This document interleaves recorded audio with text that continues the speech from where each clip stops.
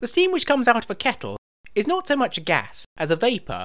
To convert it to superheated or dry steam, it must either be pressurised beyond anything practical for motive power, or further heat energy must be applied to the vapour.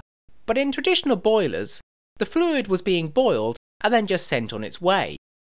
German engineer Wilhelm Schmidt was the first to apply proper thermodynamic principles to design, rather than just using trial and error. He correctly calculated several advantages to dry steam, and so designed a system where the steam, instead of being fed straight to the cylinders, would first be run through several narrow pipes running through the flues. This allowed the steam to be heated up into the superheated region as it travelled. The advantages of this system soon manifested themselves. The entropy of the fluid will remain constant as it travels through the cylinders. The useful work energy produced by the fluid in this stage is equal to the drop in heat energy.